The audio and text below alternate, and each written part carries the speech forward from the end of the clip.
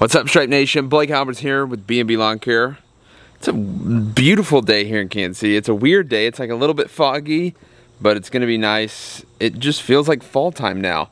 But we're doing a little bit of mower maintenance today. This mower, the throttle cable, uh, needs, we're just gonna switch out the throttle cable. It broke. Literally, there's like, where this little, there's like a little hook up here that the throttle cable hooks into and a little tiny metal piece broke off making it not work. So it's cheap. I think it's like 25 bucks to fix it. And uh, this, we just need to sharpen the blades real quick and uh, then go back to mowing. So I'm gonna show you guys how we do. This is just a little bit of maintenance and uh, then next week, hopefully we'll be getting airbags for the work truck. That's the next order of business because we gotta put on, I've been hinting at what we're putting on the work truck, but that's for another video let's get this maintenance done.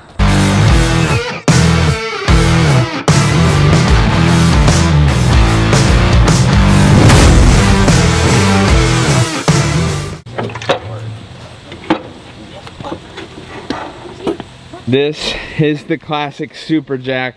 A ton of people have been picking them up, loving them. They're just so simple. Like, I can't believe that it works. Every person that sees it is like, how in the world does it do that? I don't know either, but they're super awesome. Super Jacks. You can get 10% off BB10. Ballard-inc.com. Links in description. I mean, that's awesome, dude. That thing is so sweet. All right, so we're, we're just killing a couple birds here. Doing the blades on both the mowers, scraping the decks, and replacing this throttle cable. Literally super easy. It's a super inconvenient thing that just happens. And like I kind of said, you know, it depends on if where you start your PTO. This is just what I've heard. I, I don't know. I'm not, this isn't fact. But I've heard that where you start your PTO, like full throttle or whatnot, can, uh, you know, wear the throttle cable more. I, let me know if that's true in the comments. I don't know, but that's just what I was always told.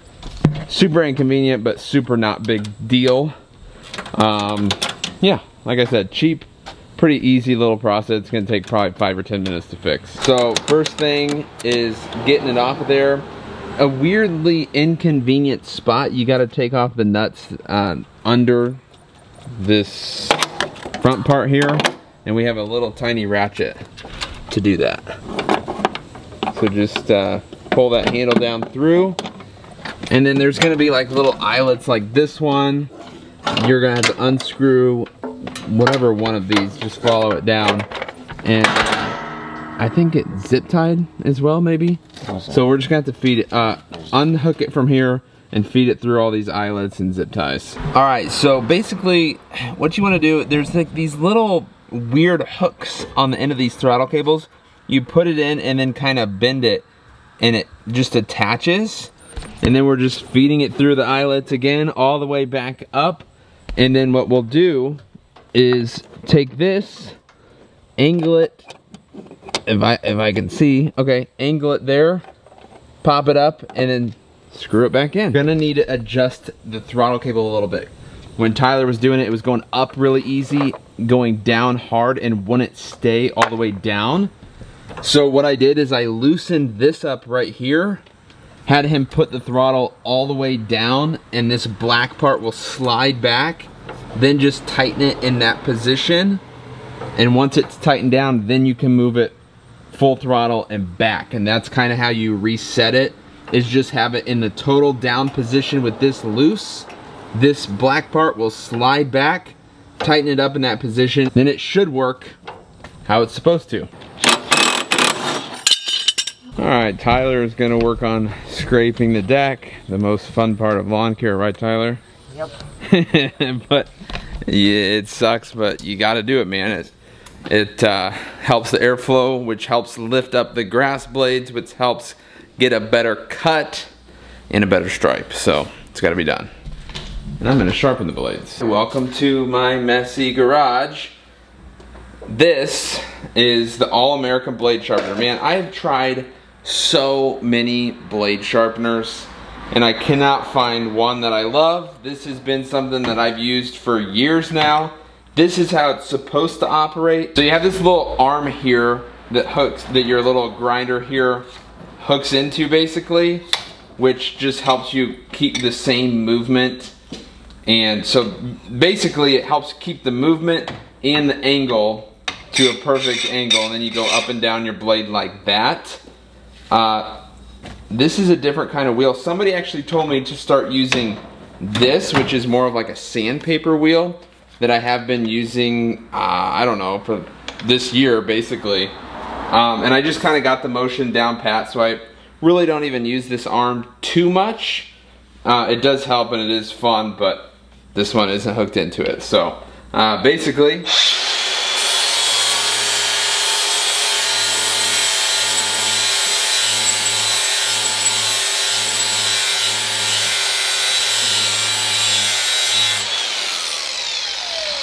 That's it. Super sharp. Let me know what your guys's blade sharpening techniques are because I like, dude, I love, like, I think, what's, I don't remember which one Brian has, like the R something, whatever. They're like super expensive. I really want one of those, but in time, in time. Um, but they do look sweet where you can just run the blade like that. This is more like, I started with literally doing it in a vise with a hand file. Then I started doing it with this grinder and you know this is kind of my 2.0 little blade sharpening setup. Hopefully I get one of the big bad blade sharpeners here. I don't know, maybe next year. But you gotta do what you gotta do.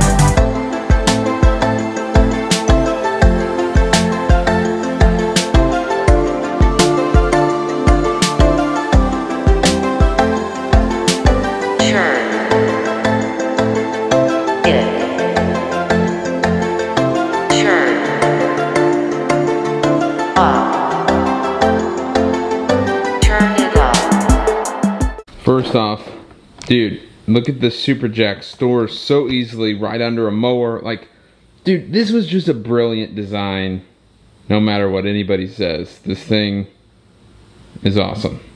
Secondly, if you don't know, snow shovels are the easiest way to pick up the stuff you scrape under your deck. Right into a trash can.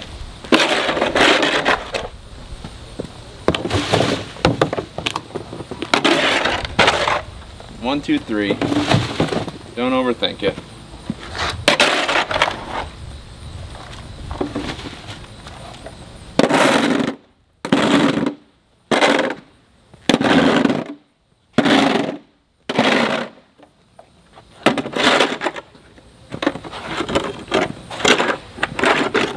If I had a broom, it'd be even better. But it's on the trailer.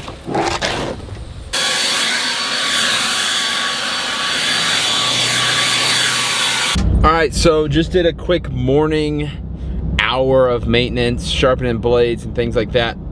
Listen, like with sharp blades now, we're gonna go faster throughout the day. The yards are gonna look better. The customers are gonna be happy by taking that one hour. You have to do it. I know in the mornings it just seems like a waste of time, but it's not. And you gotta schedule, the, the best analogy is you gotta schedule time for maintenance or maintenance will schedule a time for you. You gotta take care of your stuff, man. I know we're all, listen, we're all busy. We all are. Every lawn care company is busy, okay? But the successful ones, the good ones even, are scheduling time for maintenance. So Guys, you gotta get it done. You just have to do it. I know it, uh, it's not the most fun thing. I've never enjoyed maintenance. I'm not mechanically inclined to say the least. Um, but I can still do minor things like a throttle cable where I don't have to go drop off a mower for three or four weeks or whatever. You know, I think Coleman would get me in quicker, but you know what I mean. Like, stuff like that is a 15 minutes where hopefully if you didn't know how to do it, now you know how to do it. just from watching this YouTube video. But, uh, and I also, so I got that analogy of why you got to do maintenance, but let me tell you another analogy for people like me that like are, are kind of tunnel visioned when you're doing certain tasks, which can lead to like negative thoughts. I said don't, like when I was scooping up all the moldy, wet, nasty, wet dog poop grass, I said don't overthink it because don't overthink that step. Just scrape the poop deck, get it off the ground, put it in the trash can, and be done with it. Like, it's not a big deal, okay? And when you're doing certain things like that, you gotta know that you have a plan to be successful, and that's a one little stepping stone to a part of your success is doing things that you don't want to do, okay? Helping Susie, maybe you didn't make as much profit as you wanted to on Susie's lawn. You know what? So be it, dude. You've got to get it done. That's just the way. And if that's the stepping path to your success, it's the stepping path to your success. I don't even know what I'm saying. I'm just saying, hey, get your maintenance done, be positive, be happy, and uh, hey, at least you've got a, a business that has equipment that needs to be maintained. That's literally how I run my days, dude, is, hey, at least I have clients that, that blah, blah, blah, blah, blah. Whatever the problem is, okay? At least you've got it, man. At least you've got a problem. At least you've got something going on. And, uh, I think that's a good way to live life. So we're gonna go get some work done today. I hope you guys have a good day. I hope you're killing it. We're freaking killing it. I appreciate everybody. Dude, go save 10, 10% off of uh, ballardinc.com. Get yourself a Super Jack. Those things are sweet. Get some Kujo shoes, whatever, dude. Like, people are grabbing it up. People are saving money. People are supporting me, my family, my channel. Everything is just good, dude. So, love you guys all. And um, that's it. Peace out. Have a good day.